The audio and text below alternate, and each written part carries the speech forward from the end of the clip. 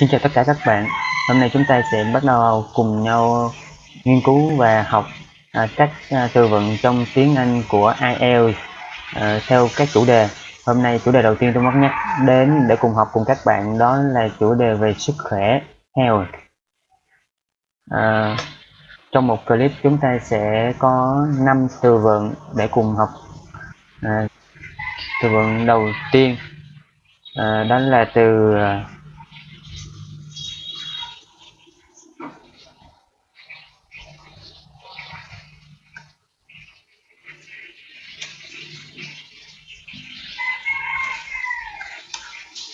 đây này là chủ đề nha các bạn.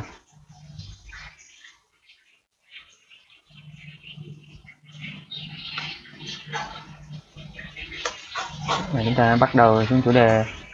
Xuống từ đầu tiên đó là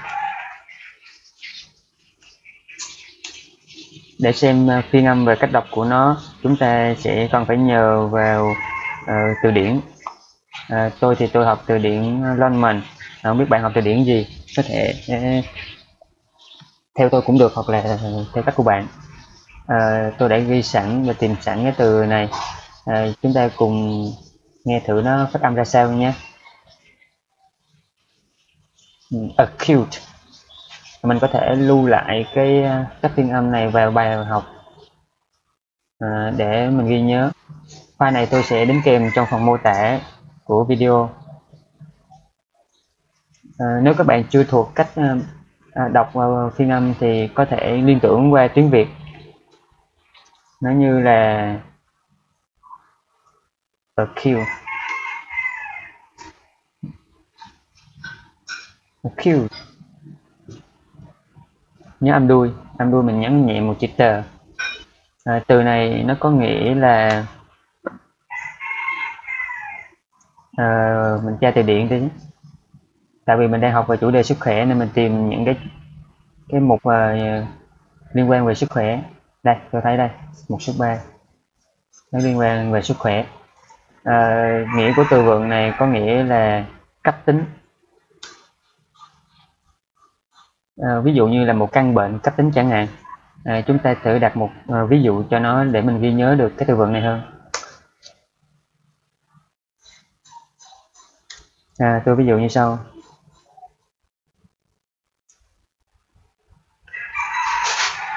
An acute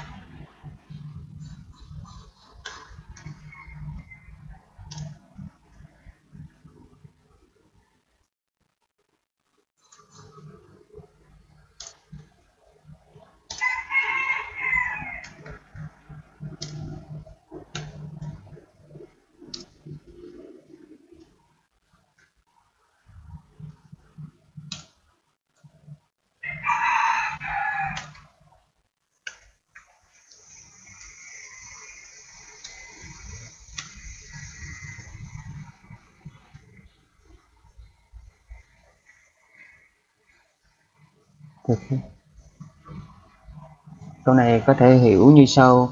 Đó là một căn bệnh cấp tính là một căn bệnh mà nó sẽ rất nhanh chóng phát triển lên uh, gây nguy hiểm. Đại loại như vậy. Tiếng anh của tôi cũng còn yếu. Uhm. các bạn đã hiểu chưa? Uh, acute uh, nó là à, còn một cái tôi quên nói. Chúng ta cần phải tìm hiểu uh, về cái uh, loại từ của nó. À, uh, acute này nó là uh, thuộc dạng tính từ. Uh, chúng ta sẽ coi là từ điển. Đây adjective uh, từ điển. Chúng ta cũng ghi vào này luôn để chúng ta nhớ. Adjective.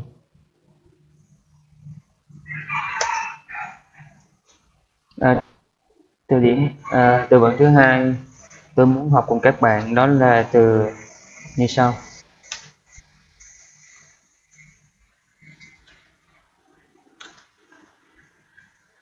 Chúng ta sẽ cùng coi nó sẽ à, đọc ra sao và nó thuộc à, thể loại từ gì à, và nghĩa của nó như thế gì nhé. Này tôi cũng chuẩn bị sẵn để cho nó nhanh nè. Cái lót lại đi.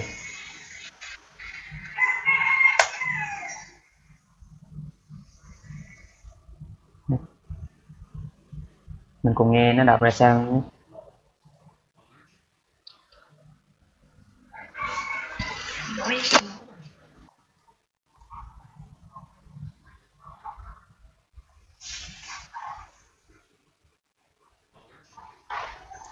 allergic vâng, các bạn nghe rõ. Chúng ta sẽ cất qua.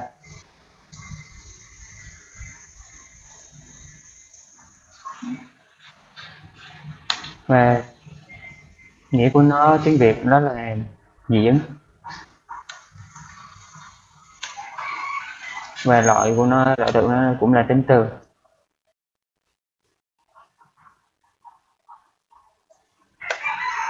Chúng ta thử cho nó một ví dụ nhé.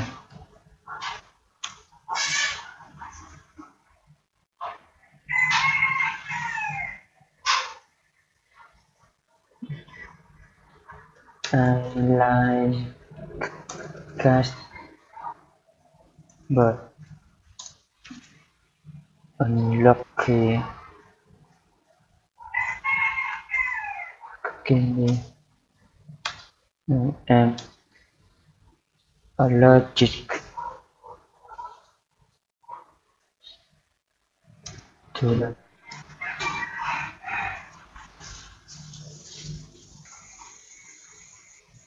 câu này có thể dịch là tôi thích mèo nhưng không may tôi bị dị ứng với nó. Câu này dễ. À, từ thứ ba trong video này đó là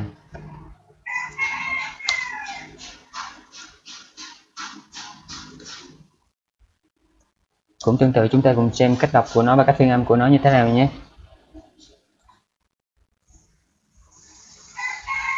Nè nó cũng thuộc à, uh, tính từ adjective phiên âm của nó là đây. Alternate có thể tôi đọc đúng không nha?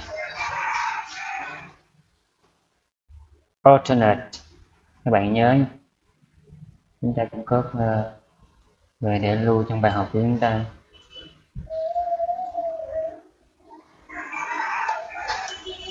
À, nó cũng là adjective à, ờ, nghĩa của nó đó là luân phiên.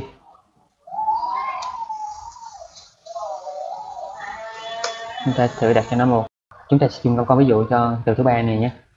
Mà đây tôi cũng chuẩn bị sẵn rồi cho nhanh nó hơi dài. Đây. Some and Colin take care of their baby ở alternate days because both are very busy working. Ờ, à, câu này có thể dịch là Sam và Karin à, để luân phiên nhau chăm sóc cái đứa bé mới. À, tại vì họ cả hai đều họ đều bận rất là bận việc.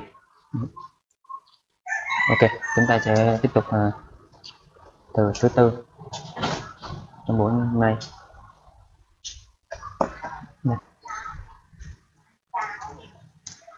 chúng ta cùng xem các phiên âm và cách đọc của nó đây nó cũng là tính từ nha các bạn?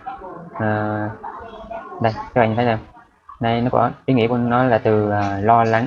Ý nghĩa số 1 của nó này worry about something lo lắng về cái gì đó. Để mình đọc mà nó có âm ra sao nhé. Anxious. Uh, mình vừa nói là ở đây có hai cái nút. Uh, nút màu đỏ là uh, phát âm của giọng uh, người anh. Nút màu xanh là phát âm của giọng người mỹ. Uh, mình nghe thử nghe giọng anh thử nha. Uh, nghe theo giọng mỹ nè nó, nó đều như nhau. Nó chỉ khác là người anh người ta đọc cái ký hiệu này là đọc là a như tiếng việt của mình. Còn à, người mỹ người ta đọc là nó kết hợp giữa từ a và từ e. Nên mình à, lựa chọn cái đọc này cũng được. Chúng ta cung cấp cái à, phiên âm này vào bài học. Ờ, uh, Word nó không khó ghi được mấy phiên âm này nên tôi chọn cách copy cho nó nhanh. Nó cũng là tính từ. Uh, nó có nghĩa là lo lắng ừ, chúng ta cùng một ờ, đặt cùng một cùng đặt một câu ví dụ cho nó để mình sẽ nhớ hơn nè ừ. câu này hơi dài tôi suy tầm từ ờ,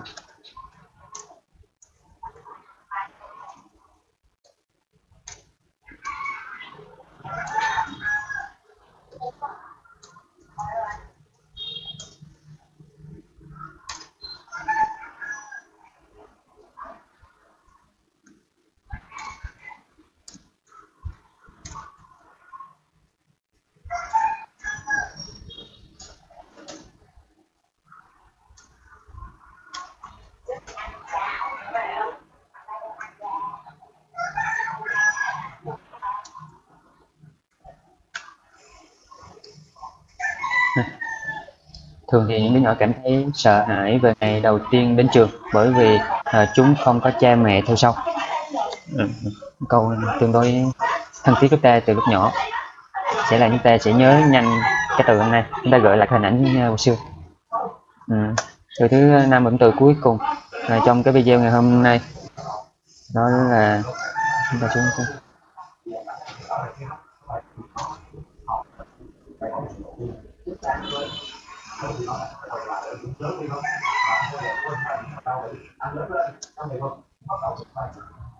này từ này lạ quá, tôi cũng biết đây cũng nghiên cứu nó phát âm ra sao.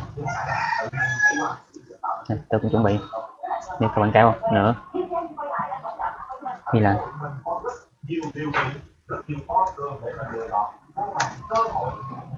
ờ, à, đây chúng ta cùng nghe. Bây giờ chúng ta cùng nghe hai cách phát âm của hai bên luôn nha. Đầu tiên chúng ta nghe giọng mỹ trước đi. Appetite. Giọng ăn. Appetite. Nó cũng gần giống nhau. Uh, nó là danh từ. Danh từ. Uh, nó có nghĩa là uh, không muốn ăn cảm giác. À, cảm giác thèm ăn. Sorry nó là con mang cảm giác thèm ăn. Chúng ta cũng có con này. Bạn nhớ nha. Appetite. Uh, nó là nào? Danh từ. Nó có nghĩa là cảm giác thèm ăn nó là thèm ăn luôn cảm giác.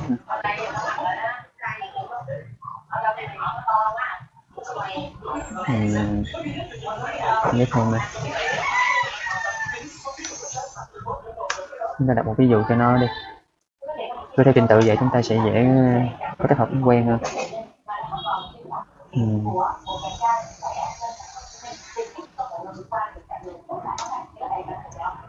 I seem have to blue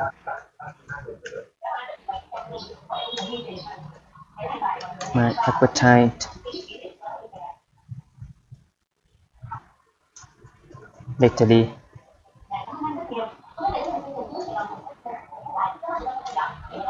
uh, do not want to eat anything Cô tôi nghĩ là tôi cảm thấy mất cảm giác thèm ăn gần đây. Tôi không muốn ăn bất cứ thứ gì. À, đó là nghĩa của câu này cảm giác thèm ăn. À, thế là chúng ta vừa đi xong năm từ vựng về chủ đề sức khỏe uh, của IELTS chúng ta uh, coi lại năm từ này nhé. Đầu tiên là acute nó là cấp tính.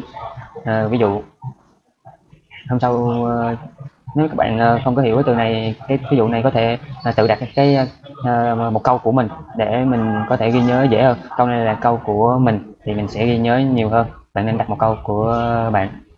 Uh, mình bôi đỏ những cái từ này lên để mình nhớ. Từ thứ hai là allergic dị ứng. Ví dụ này từ thứ ba là alternate luân phiên. Đấy, ta học bốn tính từ và một danh từ. Và thứ ba là an anxious lo lắng đầu tiêu. Và từ thứ năm là appetite appetite cảm giác thèm ăn. Rồi um, các bạn cố gắng ôn tập nhé. Mình cũng uh, cố gắng ôn tập để có thể ghi nhớ hết năm từ này. Và à, các bạn đừng quên à, nhấn à, subscribe và like để theo dõi kênh. À, cảm ơn tất cả các bạn. À, chúc các bạn nhiều sức khỏe và học tập tốt. Xin chào.